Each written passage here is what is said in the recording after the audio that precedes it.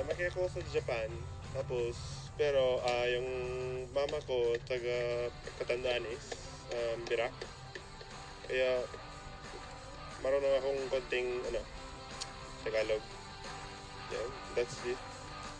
like this. Yes. Marunong ka naman ah. Oo nga.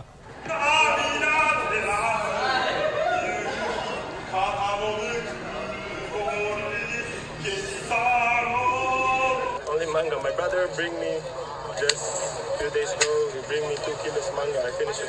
Ah, sarap. Adobo, gusto mo? I love it. My mother cook always. I love it. Oh, pero mas gusto mo yung sushi. Sashimi.